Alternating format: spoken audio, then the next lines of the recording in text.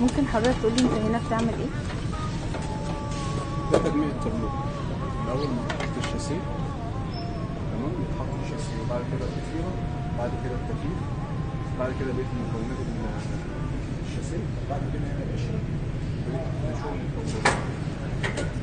عداد وشاشه وعمود دركسيون وكفر قالوا كفر سفلي والدرج الكبير والدرج الصغير درج الموتور ده التابلو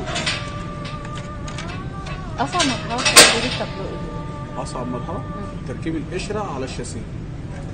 اللي هي بتبقى قشرة زي كده. القشرة بتتجمع ما بتبقاش ليها كده. برضه بيركب ليها مكونات برضه. بيركب ليها درج كبير ودرج صغير نضاره بيركب ليها اتنين هواية. بيركب ليها حساس. بيركب فيها ضفيره تمام؟ بيركب فيها ارداك بعد كده بعد ما بتخلص وتتفنش بتتحط على على الشاسيه